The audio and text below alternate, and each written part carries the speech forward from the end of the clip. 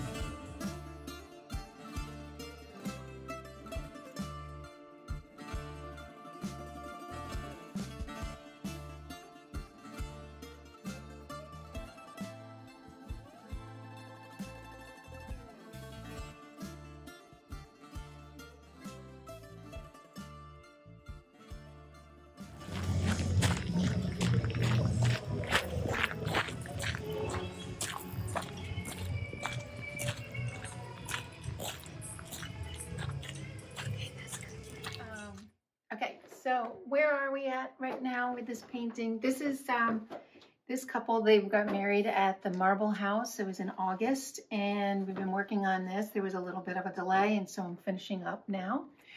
And, um, right now that we're in the, just finishing up the acrylic stage. So the acrylic stage is great. Acrylics are a water-based medium where, um, the paints I add the water to and it dries quickly. So what's really nice is I can do a lot of layers. I can make adjustments. I can move things around pretty easily on the canvas if I don't like what I've got up there and I need to make some edits and some tweaks and adjustments.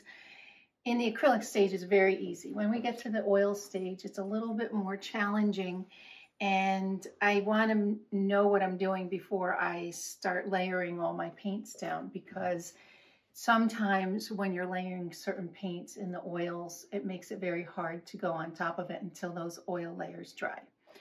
So in this next stage, um, as you can see, I don't do a whole lot of details in the couple's faces yet. I'll work on their faces in the oil stage. But the next stage that I do is I actually take a photograph of the painting and I'll bring it into um, like a program called Procreate where I can kind of look at it. I can analyze it as well in another program in order to look at the value structure. And the value structure is really the dark and lights of the painting. And sometimes when you're working on something like a painting like this with a complicated scene and you've got a lot of details happening and when you're painting it, you get excited and interested in a certain area, like a curtains I loved painting and the fireplace. But I was realizing that the value structure was kind of falling apart. It wasn't exactly how I wanted it. And I, I'll show you more of how what I mean when I actually demonstrate this part. But what I always want to do is make sure my main focus is, of course, the couple. Everything else is secondary. And if it's competing, if this is too bright and too high of a contrast, this is going to compete with what you're looking at here. So this everything in the painting that's high contrast has to really be analyzed whether or not it should be kind of toned down in order to make sure the couple is still your main feature. And so what I do is I'll bring it into a program called Procreate. And what I'll do is I'll actually use a digital brush. I'll go over the painting and I put these very light layers on to see whether or not this is exactly the way I want to go with the oil paints.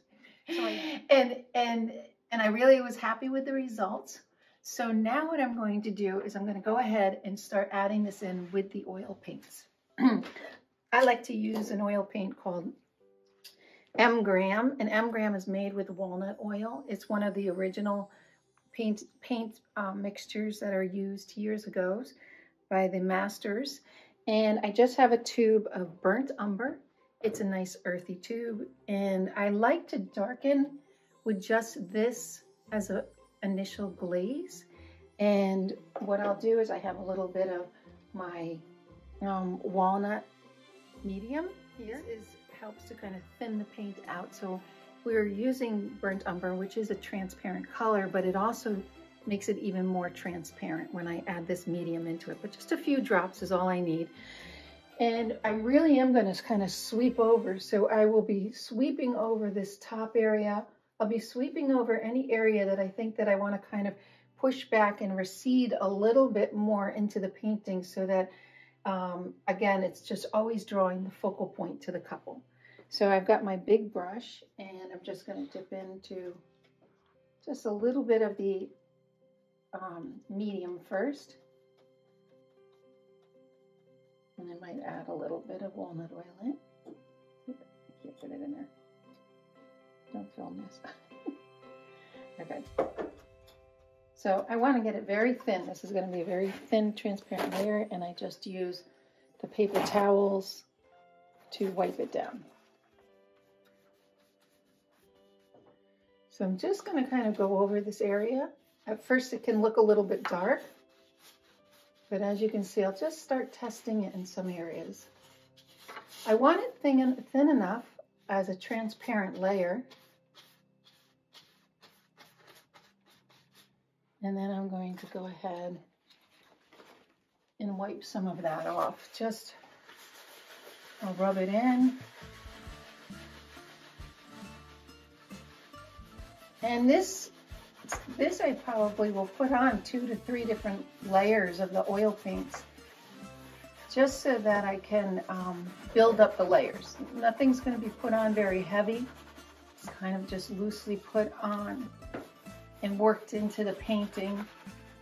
But you can even just see now the difference between these two areas. This area has now gotten a little bit darker than this area. And I'll, I'll continue to, to um, add that oil glaze onto it and I'll bring it down over in this area too. I'm gonna hit the fireplace as well. And then I'll step back and take a look at it and see where I'm at.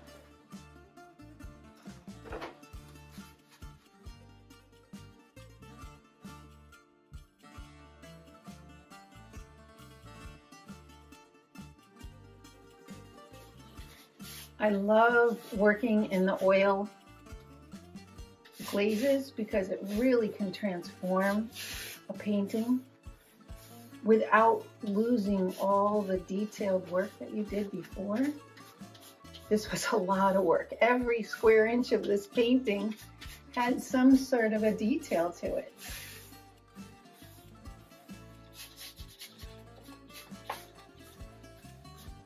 And it was just such an incredible place to be able to um, be present at the wedding as well as just being among in this room that was just it was a gold room and it was just so elaborate and so gorgeous.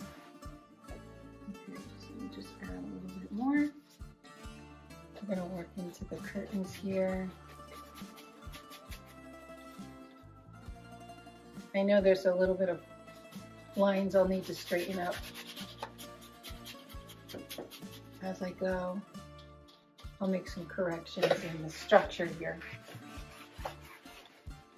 So there's a lot of layering that happens. See even that already starting to look really good. Definitely gives it more dimension here.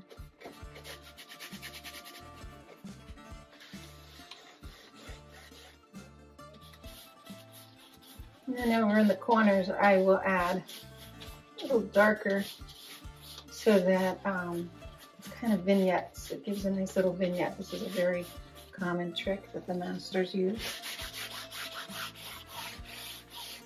Again, it brings your eye closer to the center focal point.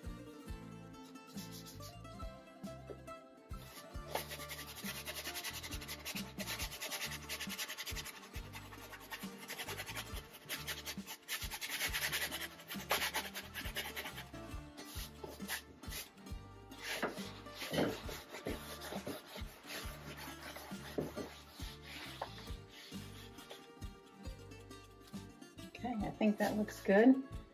I might add um, just a little bit of a purple to this brown, to the burnt umber. I'm going to use a dioxin purple in here.